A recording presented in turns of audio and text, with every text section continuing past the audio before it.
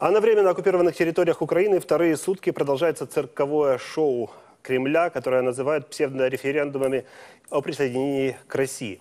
Несмотря на постоянные устрашения, украинцы не хотят участвовать в постановке московских пропагандистов. Из-за низкой явки на избирательных участках людей заставляют голосовать под дулом автоматов. Мэр Энергодара Дмитрий Орлов опубликовал кадры, на которых видно, как российские оккупанты с оружием ходят по квартирам, чтобы заставить людей принять участие в псевдореферендуме. В Запорожской и Херсонской областях мужчин призывного возраста, уже получивших российские паспорта, ждет бонус от российских оккупантов в виде повестки. Ведь оккупационные власти и там уже начали мобилизацию. На захваченных территориях продолжается мародерство. В частности, в Генштабе Украины сообщают, что кадыровцы в Мелитополе захватили склад сельскохозяйственной техникой и пытаются все имущество распродать. Жители оккупированной Васильевки в Запорожской области также сообщают, что в городе уже есть задержанные, которые попытались выступить против этих псевдореферендумов. Про ситуацию в Запорожской области, что там происходит, говорим далее. Александр Старух, председатель Запорожской областной военной администрации, наш первый гость сегодня. Александр, добрый вам вечер. Да, добрый. Вот эти псевдореферендумы, или как вы это называете, информационная спецоперация, вот эти вот два дня, что происходит на оккупированной части Запорожской области? Ну, вы довольно точно описали в сюжетах то, что происходит. Людей пытаются принудить к действиям лояльности оккупационной власти. Ну, это, конечно, все смешно, когда автоматчики ходят и носят какие-то бумажки, Э, коллаборанты и предлагают людям крестики или нолики поставить какие-то. Понятно, что это все э, глупо выглядит, но с другой стороны это все части э, той террористической политики, которую на территории оккупированной нашей области, нашей страны проводит эта, эта страна-террорист. У нас, чтобы было понятно, дальше продолжает людей в заложники брать на оккупированных территориях 515 случаев уже таких – когда люди берут заложники, дать на подвалы, тысяча прошло через эти подвалы уже, э, соответственно, э, это только то, что мы знаем. А сколько там изюмов у нас будет, это мы узнаем только после освобождения, к сожалению. Ну, а есть ли возможность выехать с оккупированных территорий на подконтрольную часть, или такой возможности уже больше нет? Очень тяжело, люди выезжают. Э, за последние сутки выехало 900, почти 900 человек. 150 детей из этих 900 человек. Э, люди выезжают, но очень тяжело. Желающих выехать э, на порядок больше, чем то количество, которое оккупанты пропускают через э, пункты пропуска и блокпосты, соответственно, по единственной дороге, которой можно выехать. Ну, наверняка же были сооружены вот эти вот э, так называемые избирательные участки э, в области, на оккупированных территориях. Вообще люди приходили туда голосовать или все вот это вот просто по домам ходят э, с этими автоматами и таким образом пытаются людей заставить поставить галочку? Э, смотрите, ну там за последние дни, несколько дней, три дня назад завезли Мелитополь и Бердянск по 20 автобусов с автономной республики Крым, наших там сограждан, да, которые там уже давно в оккупации, для создания картинок определенных, но тем не менее картинки создать не удается, поэтому они провозгласили, что якобы все онлайн голосование плюс обходы по квартирам, ну, с автоматчиками. Ну, мы, мы же понимаем, что это все ну, такое никчемное, да, но и по сути никчемно, нет ни законов, ни норм э, в нашей стране, и тем более Э, вне Федерации Российской нет закона даже про референдум, соответственно. Все, что, то, что они делают, это попытка давления и на Запад, да, чтобы сказать, смотрите, мы завтра где там частью России применим потом ядерное оружие. А у нас это давление на людей, которые живут на территориях оккупированных, ну и на руководство нашей страны, чтобы принудить пойти там на переговоры. Все это все прекрасно понимают. Э, очень тут главная опасность вообще в целом, по сути – это то, что людей потом могут призывать в армию, в российскую, ну и, соответственно, да, делать из наших сограждан пушечное мясо против их воли. Это очень большая проблема, поэтому мы призываем людей, во-первых, выезжать, а во-вторых, всеми способами э, как-то уникнуть, ну, не брать участие в этом фарсе. Но скажите, э, вот местные власти сообщают, что, например, в Васильевке есть случаи, когда за то, что люди голосуют против, их просто приходят, оккупационные войска приходят и их э, задерживают или арестовывают. Вам что-то известно э, о таких случаях? Смотрите, смотрите, я, смотрите, ну, есть такое понятие, но вам, журналистам, хорошо известно, окно Авертона. Э, я бы не стал бы, чтобы мы играли в игру, которую нам навязывает оккупант, говоря слово референдум. В России никогда не было референдума, у них не было выборов свободных никогда. Ну, может, там на заре там, независимости их, на рубеже 90-х годов 20 века, и там в 17 году пару раз. Потом выборов у них свободных не было никогда, и референдума. У них референдум это одно э, престарелое существо, э, оно встает перед зеркалом, само себя спрашивает, дает ответ, и потом реализовывает этот вопрос и ответ. Поэтому как бы играть на эти выборы, слово употреблять там к этой ситуации. Какие выборы? Э, на оккупированной территории, без законов, под дулом автомата. Это информационная спецоперация и насилие над людьми. Все, больше ничего. Ну вот люди, которые живут э, под этим насилием, под этим постоянным давлением, и теперь вот еще вот эти фейковые процессы, два дня уже, которые длятся, вот как, какие настроения у людей? Ну, люди в оккупации уже длительное время, много выехало. А, знаете, когда там говорят, вот в Запорожской области проводят опрос там какой-то, да, на той территории, которая оккупирована, живет не более четверти населения области, ну, как там можно опрос провести в Запорожской области? А, люди, выехала значительная часть жителей оккупированных территорий, значительная часть живет под давлением, но тем не менее, я думаю, мы все прекрасно понимаем, что Э, обязанностью каждого гражданина Украины является защищать свою страну, себя, там, своих родных и близких. Поэтому нужно в этой ситуации максимально набраться мужества, э, как говорится, сжать зубы и э, выдержать максимально, придерживаясь норм законодательства нашей страны. Ситуацию Александр, смотрите, ну с этой с подобной ситуацией мы уже сталкивались в 2014 году. Абсолютно такой же кукольный процесс, который ну, цивилизованный человек не назовет референдумом. Тем не менее, тем не менее, э, это произошло, и вот что людям ждать на нынешних оккупированных территориях после того, как все это закончится? Ведь люди в Крыму ждут уже девятый год чего-то. Какие ожидания а, вы, должны быть? Вы очень, вы очень правильно подметили и состав, ну, сформулировали вопрос очень правильно. Единственным способом э, спасти ситуацию на этих территориях является ее освобождение – восстановления суверенитета украинского государства, нашего государства над этими территориями. Поэтому люди там должны ждать и помогать. Как они помогают, спасибо им. А, не будем раскрывать дальше эту историю. Быть готовыми потом реализовать как бы полностью все задачи, которые будут после освобождения, в момент освобождения стоять перед ними. А мы все должны сконцентрировать основные усилия на помощи нашим вооруженным силам, чтобы они могли как можно быстрее освободить эти территории. Другого варианта не существует на данный момент. А как вот быть с коллаборантами, которые участвуют и помогают организовать эти фейковые э, процессы, опять-таки так назову это? Вот э, СБУ уже получила список, там э, более 390 человек. Вот что им за это будет, мы знаем, ну и СБУ знает их имена. Э, все имена известны. Э, не думайте, что только там лидеров, там зачинщиков этих всех исполнителей. Все знают полностью все. Ну, мы точнее знаем полностью все. У нас не только служба безопасности возбудила там э, десятки уголовных, сотни уголовных дел против коллаборантов по их действиям, но уже и прокуратура пидозры выписывает соответствующие за те нарушения, которые по криминальному кодексу 111 статье четко определены как измена Родине и будет ответственность полная, там, которая предусмотрена этими статьями. Вбивати ніхто не збирається никого, потому что нам ценен труд этих людей на восстановление разрушенного. Спасибо вам большое э, за информацию. Александр Старух, председатель Запорожской областной военной администрации, был нашим первым гостем. Говорили о ситуации в Запорожской области и на оккупированных ее территориях, временно оккупированных. Спасибо.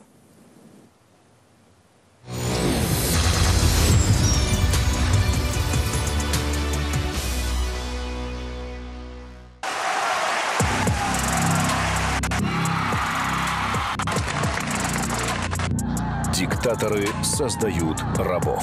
Наша страна лучшая в мире. Буду верно поддерживать руководство верховного лидера товарища Ким Чен Ына. Или рабы создают диктатора. Сами оказались под пытками. А многих вообще казнили в первые часы. Так сделали с теми, кто решился протестовать. Последний день диктатора. Убейте нас вместе. Я выпустил 29 пуль тремя очередями. Он получил то, что заслужил. Путина тоже культ личности начал складываться постепенно. Он повторяет э, путь диктатора, в том числе и таких, как Чаушеску. Смотрите каждую среду в 16.30 на телеканале Freedom.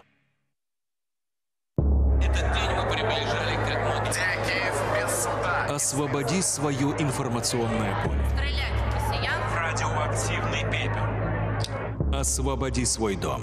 Freedom. На русском тоже говорят правду. Россиянин, протестуй, не иди в военкомат. Объясню русским по-русски, что происходит. 55 тысяч российских солдат погибли на этой войне за полгода. Десятки тысяч ранен, искалечен. Хотите больше? Нет? Тогда протестуйте, боритесь, убегайте или сдавайтесь в украинский плен. Это варианты для вас, чтобы выжить. Россиянин, протестуй, не иди в военкомат.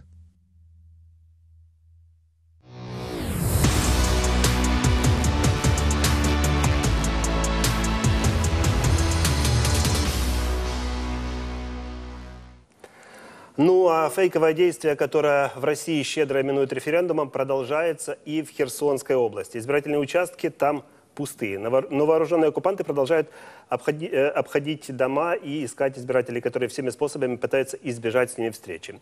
Это слова первого заместителя председателя Херсонского областного совета Юрия Соболевского. И он наш следующий гость в программе. Поговорим детальнее про ситуацию на Херсонщине. Юрий, добрый вечер. Скажите, вот второй день идет э, э, референдум, так называемый. Какая ситуация в Херсоне области? Да, действительно, у нас сегодня заканчивается второй день этого шоу, этого театра абсурда. Избирательные участки, как вы абсолютно правильно сказали, они как были пустыми, так и есть. И мы рассчитывали, не рассчитывали, наблюдали, откроют ли остальные участки, которые не открылись в первый день, но были задекларированы, никто их и не открыл. То есть людей собрать э, в комиссии, даже вот в то количество избирательных комиссий, которые они задекларировали, оппозиционная власть не смогла. Весь расчет у них на выездные комиссии фактически это просто, знаете, передвижной балаган в сопровождении вооруженных росгвардейцев когда они заезжают э, где-то на рынке, где-то в дома, где-то во дворы, и там пытаются вот собрать людей, принудить их к голосованию. Потому что, почему принудить? Потому что очень сложно отказаться, э, когда рядом стоят два автоматчика, ну, понимаете, в каких условиях там наши люди. Фактически э, каждый, кто вынужден был э, брать этот в руки бюллетень, он находился под очень серьезным таким воздействием и принуждением психологическим, потому что были случаи, когда их немало, когда люди отказывались брать бюллетени, и сталкивались с очень жестким психологическим таким прессингом, когда им говорили, зачем ты тогда вообще здесь остался, собирай вещи, уезжай. Ну, то есть э, никакой демократии речь не идет вообще но не забирают людей, потому что вот в Запорожской области есть случаи, когда если ты отказываешься вообще принимать этот бюллетень или ставишь галочку не там, где хотят оккупационные силы, то людей как бы уводят в неизвестном направлении. В Херсонской области есть такие случаи? Подтвержденных случаев пока, к счастью, нет. Это не значит, что таких случаев нет вообще, потому что если человека забрали, то он об этом сможет заявить к сожалению, очень не скоро, если его родственники сразу не обратились, э, публично не сделали заявление или не обратились в правоохранительные органы, то мы узнаем об этом, к сожалению, там, через какое-то время. Но вы же понимаете, там нет никакой тайны голосования. Э, внимательно смотрят, что человек в бюллетень ставит, и тот человек э, перед этим уже передал свой паспорт, хотя были случаи, когда у нас там и по другим документам они бюллетени давали, а в некоторых случаях вообще просто без документа. Э, но в любом случае, в большинстве случаев это паспорт. И они знают э, паспортные данные человека, его адрес регистрации. В этой ситуации поставить там нет. Э, это очень смелый поступок на самом деле, но при этом очень рискованный. Потому что, естественно, такого человека не сразу возьмут на карандаш. А, скажите, вот активисты движения «Желтая лента», да, движения сопротивления, сообщают о том, что для массовки Россия завезла в области из Крыма и Ростовской области. В некоторых селах вместо местных жителей голосуют российские военные, а людей буквально принуждают, ну, если это можно так назвать, голосовать. Есть ли еще какие-то такие вопиющие случаи, которые удалось зафиксировать на данный момент?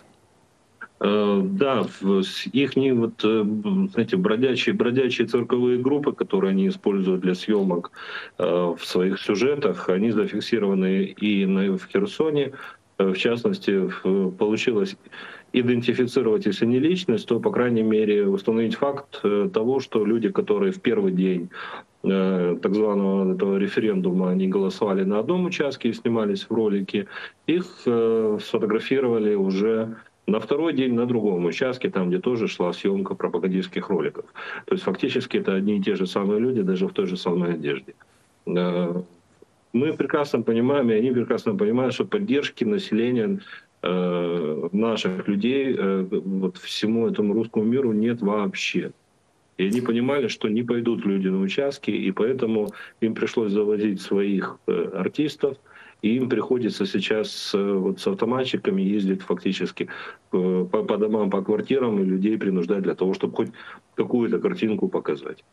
Опять-таки, вот активисты движения сопротивления «Желтая лента» выложили в сеть имена и телефоны 12 так называемых глав избирательных комиссий. Вот херсонские коллаборанты, они же ведь не понаслышке знают, э, что может случиться э, с коллаборантами в Херсонской области. Такие случаи уже были. Вот они знают, какая ответственность их ждет за то, что они соучастники этого преступления фактически.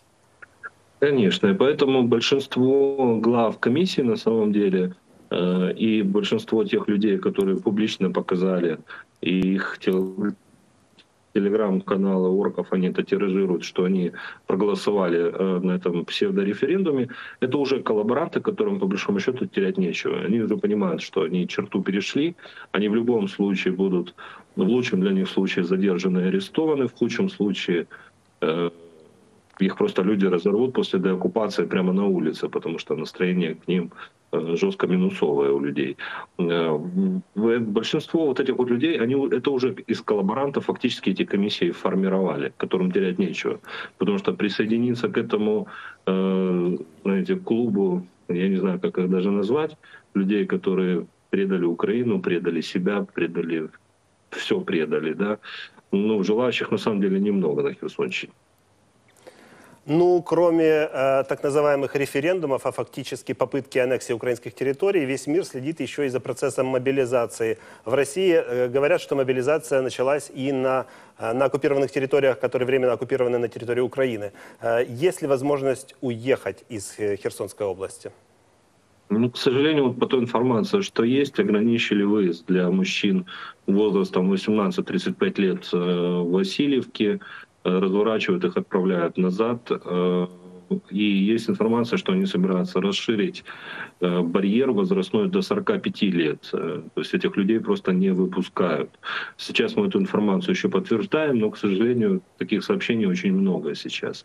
Я думаю, что аналогичная ситуация и со стороны Крыма. Там меньше возможности получать информацию на том направлении, но это было бы логичным. Никто не собирается этих людей наших оттуда выпускать, их собираются использовать э, как пушечное мясо. Понятно, что в первую очередь, конечно, эта судьба ждет тех, кто пошел и получил русский паспорт, потому что их уже и личность установлена, и данные их есть, и место жительства их есть. Я думаю, что им в первую очередь разнесут эти повестки и фактически принудительной мобилизации но я боюсь, что этим не ограничится. Но смотрите, если человек э, получил паспорт просто для того, чтобы чувствовать себя в безопасности, но совершенно не собирался воевать против Украины, вот что ему делать в таких случаях, когда в его дверь стучат и с, так называемой повесткой от российских войск идти воевать против своих же украинцев? Что делать в такой ситуации? Э, всеми возможными способами просто избегать мобилизации.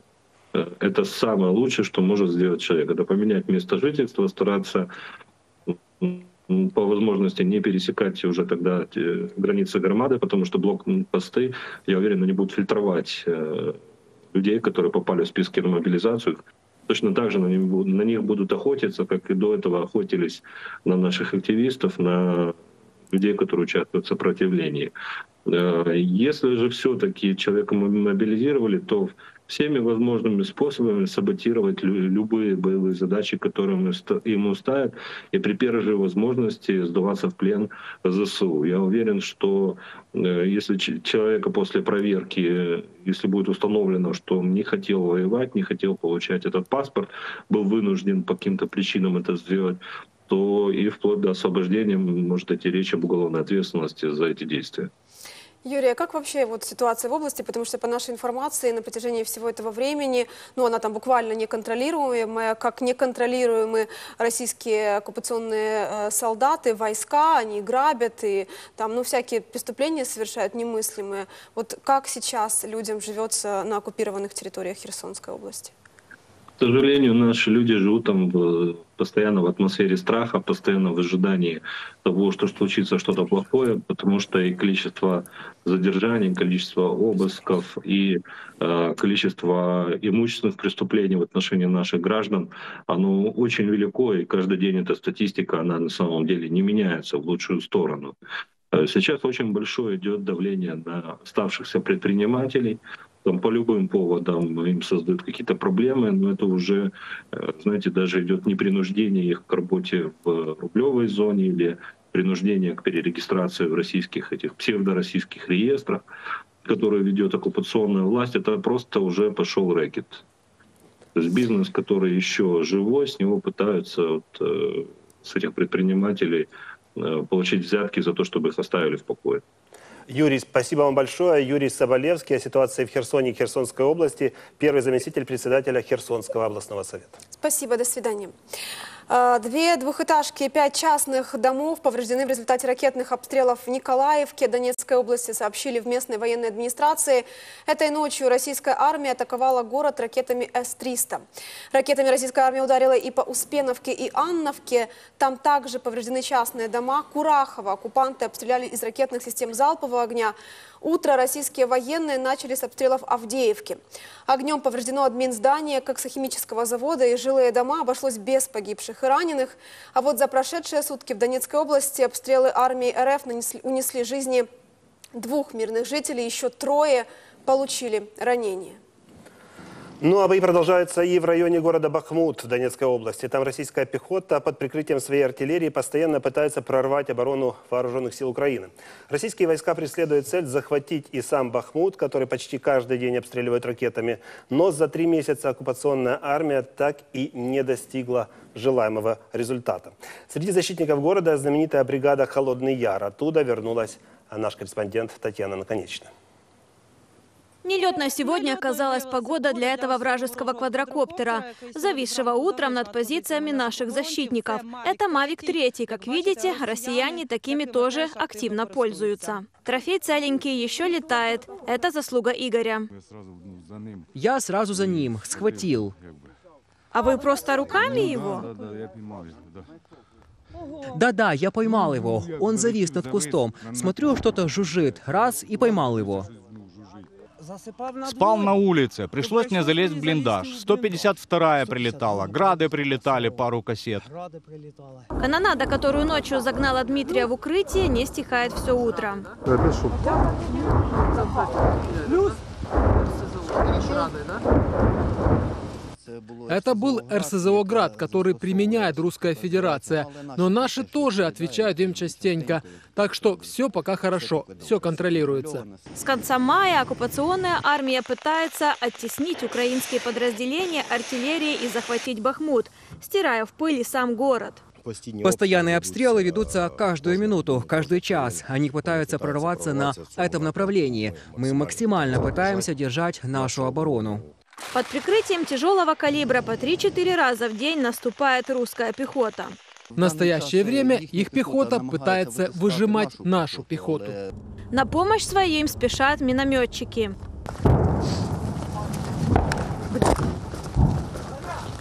Прилеты становятся все ближе, поэтому отработать нужно быстро. Уши! Пострел! Маскировка! Прямо на боевой позиции командир награждает бойца с позывным «Паук». Награждается героем русско-украинской войны. А вы знали, что вам будут вручать эту награду? Нет, никто не ожидает, тем более в такое время. Это в зоне АТО, там предупреждают. Командиру нужно будет ехать. Я вот впервые увидел ее, если честно. Это еще за оборону Ахтырки, где бригада «Холодный Яр» принимала бой с первого дня войны. Наш батальон встретил в Ахтырке противника. Как раз они на стадии разгрузки отбили атаку, отогнали их обратно, а потом пошли в наступление, освободили Тростянец. После освобождения Сумщины холодноярцы пять месяцев, несмотря на многочисленные штурмы, прорывы, оцепления и потери, держали фронт вокруг Изюма на Харьковщине. И вот теперь защищают горячее бахмутское направление. Здесь они больше применяют ракеты, авиацию. Особенно ракетные удары очень тяжело приходят по Бахмуту. На своем третьем за полгода фронте холодноярцы убедились, что непобедимость русской армии – это лишь миф. Она хотела показать, что она вторая армия мира, а оказалось, что это мыльный пузырь. Татьяна Наконечная, Захар Комах в рамках марафона на канале «Фридом». В Мариуполе людей стягивают на псевдореферендум, угрожая увольнениями и потерей зарплаты, сообщил советник мэра Мариуполя Петр Андрющенко. Людей ждут на работе, мобильные бригады с простым условием – голосуешь или теряешь работу и зарплату. Только посмотрите, как мариупольцев собирают для подписи фейковых бюллетеней. Референдум! Выходим на голосование!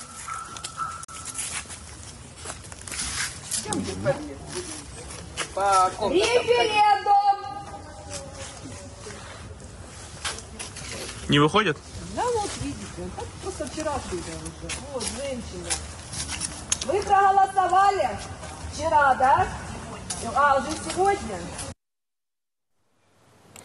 Ну а мы продолжаем обсуждать информационную спецоперацию Кремля, которую в России именуют референдумом. И э, сейчас поговорим о ситуации в оккупированном Мариуполе. Петр Андрющенко, советник мэра города, с нами на прямой связи. Э, Петр, добрый вечер. Скажите, оккупационные власти срочно искали людей для того, чтобы все это организовать. Предлагали даже щедрую зарплату в 100 тысяч рублей. Удалось ли кого-то найти? Ну, как мы видим, удалось. Э, нашли, людей нашли. Э, не можем сказать, что в достаточном количестве, так как планировали, но в принципе для организации этой постановки достаточно смешной. Если бы не было так грустно, но, но люди есть.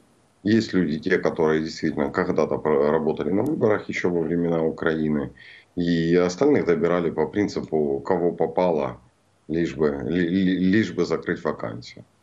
А где вообще проводят э, это, ну, сложно назвать это словом голосование, потому что Мариуполь там разрушен ну, практически э, полностью. Вот где устроены эти так, эти так называемые избирательные э, участки? Да где только не устроено. Ну, во-первых, в школах, которых немного осталось целых, там, где не водили детей. Э, во-вторых, в части детских садиков то же самое, которое удалось запустить. Есть избирательные участки в магазинах, есть избирательные участки в кафе, а есть избирательные участки, если помните, они устанавливали мобильные души и бани по городу. Вот. Теперь из них достали оборудование, а палатки используют, устанавливают по городу. Теперь это уже не помывочные, как говорили россияне, теперь это избирательные участки. Ну, наиболее распространенная практика – это вот хождение по дворам, отлов людей на улицах, загон в парках, ну и так далее. Да? Ну и самое эффективное, поскольку там вчера был большой скандал, связанный с э, нашими коллаборантами, получали они нагоняют своих российских кураторов от донецких, что слишком маленькая явка мариупольцев. Э, и в итоге просто пошли самым простым путем. Сегодня с утра э, во всех местах, где собираются люди на работу, это у подрядчиков ремонтная работа, там коммунальное предприятие по уборке, разбор э, завалов на комбинате Ильича. Там их всех ждали вот такие вот мобильные бригады с автоматчиками. Очень быстро людям объяснили, что если они либо не голосуют, либо они теряют работу и заработок, причем не только здесь, а в принципе там какие-то черные списки по работе в Мариуполе. Ну, естественно, явка резко э, увеличилась вот таким путем, поэтому шоу продолжается. Ну, скажите, мы помним все эти страшные кадры э, вес... конца февраля и начала весны этого года, когда колоннами тысячи людей выезжали из города. Вообще, сколько в городе осталось людей? Сколько было вот населения до войны, если мы говорим о явке, и сколько там проживает людей сейчас? Ну, если говорить о явке э, языком выборов, то в городе 363 тысячи избирателей проживало до войны, по состоянию на последние местные выборы 2020 года. Э, на сегодняшний день в городе проживает порядка 130 тысяч людей, в принципе, не избирателей. Да? Из них, ну, мы так подозреваем, что избирательно по, по, под категорию избирателей э, попадает там порядка там, 90 тысяч людей, где, где-то вот, вот такая вот категория. То есть уменьшилось почти в 4 раза, по сути, количество людей. Но опять же, э, не забываем, что голосования идут на территории России, вообще какой-то оксимор. А, ну и в принципе вся эта постановка не то, что не имеет ничего общего с волеизъявлением человека, она по сути и есть тем, чем и как, как выглядит. Да? То есть это шоу, прикрытие уже под заготовленный результат, который есть. Мы предполагаем и на основе в том числе той информации, которую получаем из города, что покажут явку на уровне 87%, покажут примерно в таком же составе, что столько людей проголосовало за вхождение Э, Мариуполя в частности, да, в состав России. Остальные окажутся проголосовавшие э, за то, чтобы ДНР осталась независимой. Ну, небольшая часть там испорченных бюллетеней, э, конечно, будет присутствовать для, красоты мыслей. И в целом озвучат цифру про проголосовавших и мариупольцев там на уровне 180-190 тысяч. Поэтому мы, мы вполне готовы к такому результату. Мы его ожидали, мы знаем, откуда он берется. Не новость будет. Вот украинские власти одним из вариантов, э, чтобы людям избежать э, голосования этого э, по принуждению и в принципе, это уехать. И речь даже уже идет не только, чтобы выехать, например, из оккупированного Мариуполя на подконтрольную Украине территорию, а хотя бы переместиться, возможно, в какие-то села там рядом, где ну, не найдут. Вот как вообще стоит ситуация с выездом из Мариуполя? Можно выехать сейчас и покинуть вообще, например? В ближайшие населенные пункты, скажем тогда в Мариупольский район, Азовский район, можно поехать спрятаться. Собственно, я вам скажу больше, что сегодня мы знаем большое количество мариупольцев именно так и поступило. Народ разъезжается, разъезжается, знает, где можно спрятаться в своих там дачах, пансионатах и так далее. Потому что желание участвовать и э, нести ответственность, и жить потом с этим как бы ни у кого нет. Но Посмотрим, как будет дальше. Пытаются вылавливать и по Мариупольскому району. Безусловно, эту тенденцию они увидят. Но здесь, опять же, это приложение сил и результатов. Не столько нужен результат с точки зрения, чтобы каждый проголосовал, сколько нужно создать картинку. Худо-бедно картинку мы видим. Вот, для них ее хватит, потому что даже с супер низкой явкой пропагандисты целый день пытаются что-то сегодня снять. Очереди больше, там, чем 10-15 человек в эту помывочную избирательный участок у них снять не получается. Но, тем не менее, широкий угол, оптические иллюзии, все это, как, как правильно работать с камерой, да, все, все это мы знаем. Э, э, сказки э, звучат, поэтому я не думаю, что наших людей будут разыскивать по их с Хованком. Ну, а вот на подконтрольную Украине территорию выехать можно из Мариуполя или нет? Э, за нашей информацией на сегодняшний день практически нет. Примерно с понедельника начиналось с субботы очень сильное усиление режима в городе Мариуполе. Вот, и фактически остановлен. Комендатура э, на выезде из области требует опять пропуска, которые якобы отменили местами. А, всяческие препятствия к выезду, плюс, за нашей информацией, Васильевка там не сильно пропускает сейчас. То есть, в принципе, то, о чем мы говорили давно уже, что как только подойдет к вопросу псевдореферендума, начнется блокирование максимально выезда на подконтрольную Украине территорию. Ну, собственно, то, что мы сейчас, в общем-то, и наблюдаем. Петр, скажите, ну картинку можно как создать, так и испортить. Вот я знаю, что многие мариупольцы сегодня собирались в разных точках Украины выходить с акциями протеста для того, чтобы продемонстрировать, что Мариуполь а, против этого шоу, которое в России называют референдумами. Вышли, выходили ли сегодня люди, сколько их было, что вам об этом известно? Буквально очень коротко, если можно. Спасибо. А, выходили во всех э, городах, где находятся муниципальные центры «Я Мариуполь», поддержки мариупольцев, везде вышли. А речь идет, в принципе, в конечном итоге о тысяче Мариуполь, тысячах мариупольцев, сотнях и тысячах, в том числе мариупольцы и миру. В Швейцарии наша школа, наши дети находятся централизованно на обслуживании. Там они вышли по другим городам и странам. То есть это достаточно максимальное явление было, цель которого была показать, что, во-первых, нас большинство, тех, кто эвакуировался с города, и наше мнение, оно безусловное, незыблемое, что Мариуполь был, есть и навсегда останется Украиной. Это правда. Спасибо вам большое. Петр Андрющенко, советник мэра Мариуполя, был нашим гостем. Говорили о ситуации в оккупированном Мариуполе и как там проходит это э, псевдо-шоу, которое россияне величают референдумом. Спасибо. Всего доброго.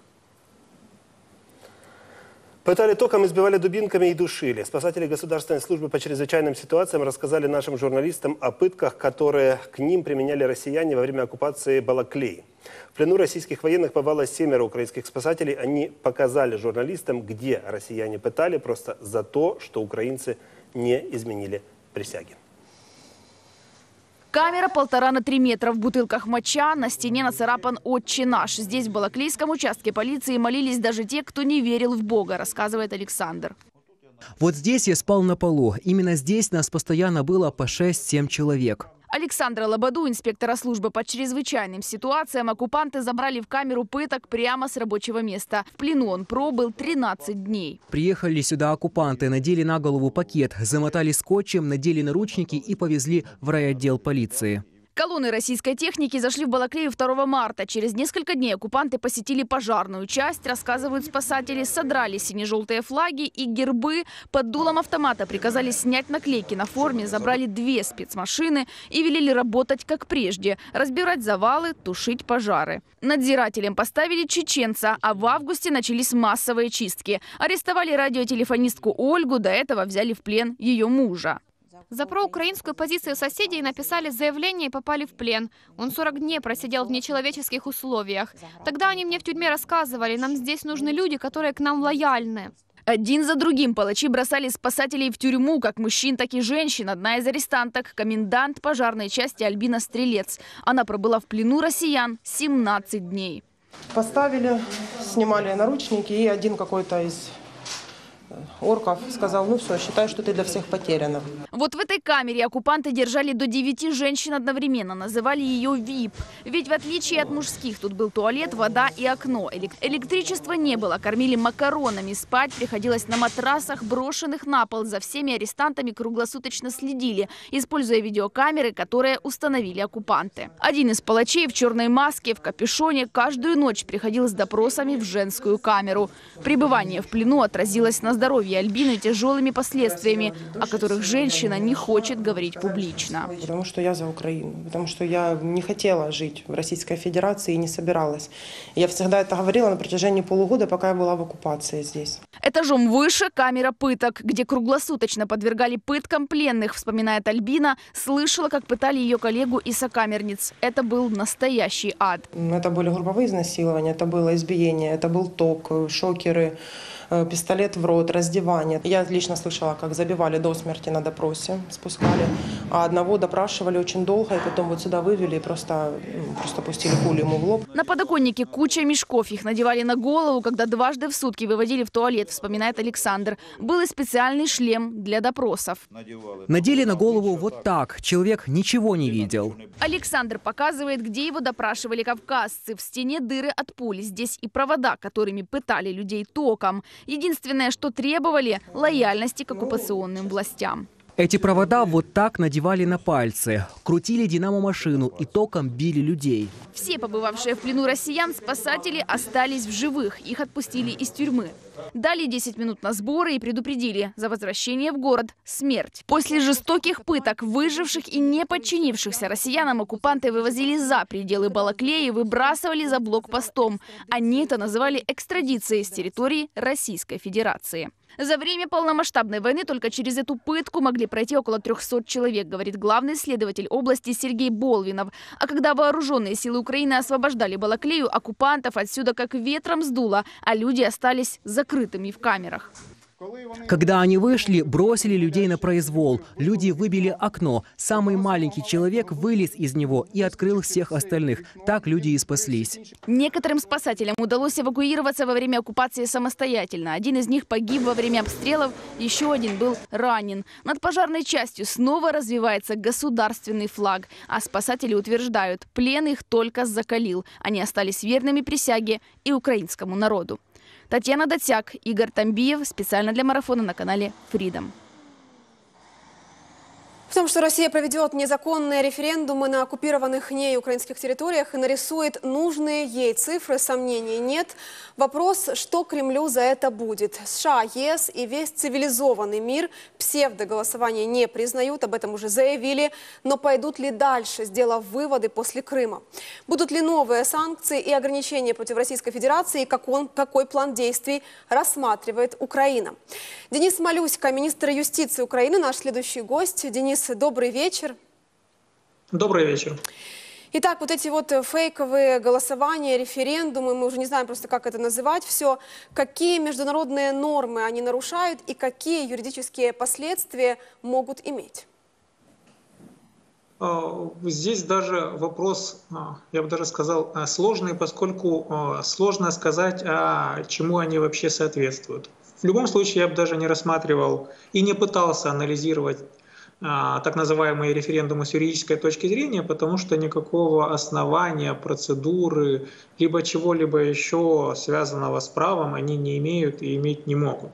Даже немного более цивилизованные крымские так называемые референдумы, которые не проходили во время активных боевых действий, то однозначно и прямо были отвергнуты мировым сообществом и тоже реально даже юристами адекватно не анализировались, потому что ну, они тоже не имеют ничего общего с э, выборами, референдумами и вообще волеизъявлением народа. Поэтому тут точно не стоит говорить о любых, каких, каких-либо даже возможных теоретических нормах или их нарушениях. Это а точно просто театрализованное действие, ничего не имеющее с юриспруденцией общего.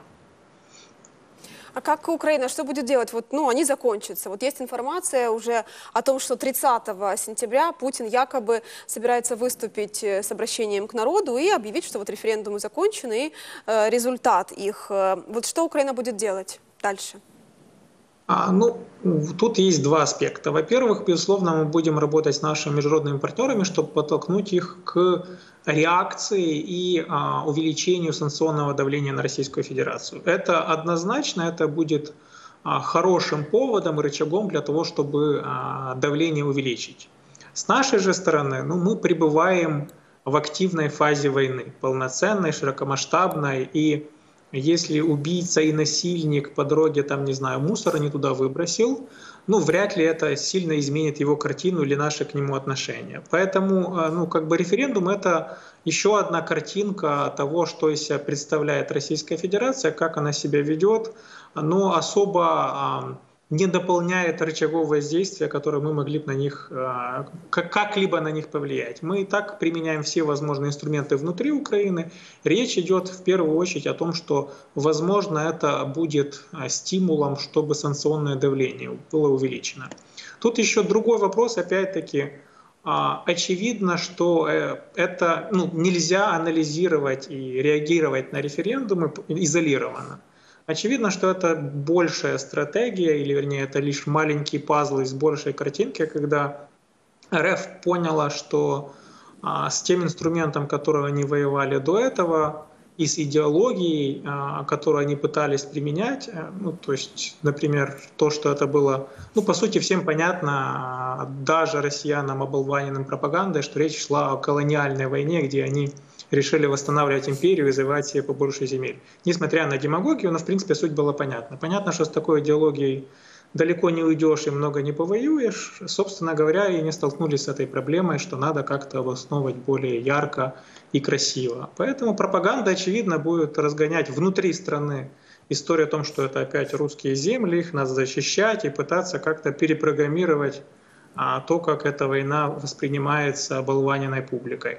То есть, по сути, а, что мы имеем, это то, что а, так называемые референдумы — это исключительно действие для внутренней аудитории с внутренним расчетом, исключительно коммуникационным, но никак не юридическим или каким-то международным.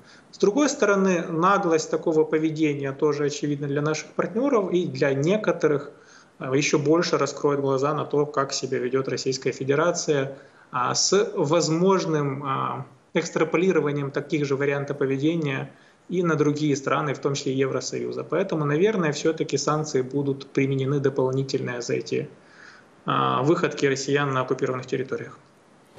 Денис, смотрите, ну вот вы говорите о санкциях, я говорю о том, что эта картинка уж очень сильно напоминает то, что происходило в 2014 году весной в Крыму. А, тогда тоже была а, реакция международных партнеров Украины, Запад также реагировал. Мы слышали о пресловутой обеспокоенности, были э, различные резолюции различных европейских институтов. Какую реакцию, кроме санкционной, Украина ожидает сейчас? Что можно сделать юридически еще дополнительно к санкциям? Ведь Путин откровенно над ними смеется, ну и, и санкции это такой э, вагон, который идет в, в, в две стороны, двухстороннее движение, которое вредит как, как Западу, так и России. Не совсем эффективный инструмент, как показала история вот на примере Украины. Ну, а, я бы не сравнивал, а, вернее, не проводил полные аналогии с ситуацией 2014 года, потому что ситуация радикально отличается и как поведение России, и как а, поведение наших западных партнеров. Что касается России, то Крым это был частью а, гибридной войны, где они утруждали себя изобретением поводов разнообразных и казус белли для того, чтобы а, запускать а, и вооруженные силы, каким-то образом создавать какую-то картинку для определенных стран за рубежом. Типа это не мы, нас там не было и прочие а, шаблоны пропаганды и мифологии Российской Федерации. Здесь они даже не утруждали себя даже этим, а, просто Путин сказал, они решили и начали атаковать. Даже не придумывая а, того, что от них ожидали, что они будут, не знаю, какую-то операцию провокационную под чужим флагом сделают или еще что-то, они решили нагло, тупо идти вперед. А, и получили соответствующую реакцию от западных партнеров, которые тоже такой наглости и хамства ну, много кто не ожидал. А, поэтому и реакция совершенно другая, а, степень санкций совершенно тоже иная.